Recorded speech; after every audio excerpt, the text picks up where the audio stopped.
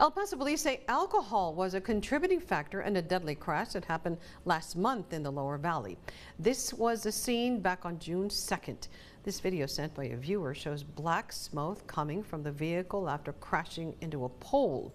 Police say 69-year-old Jesus Manuel Huerta was traveling on Loop 375. Then, for unknown reasons, began to drive on the median between the midway off-ramp and the traffic lanes.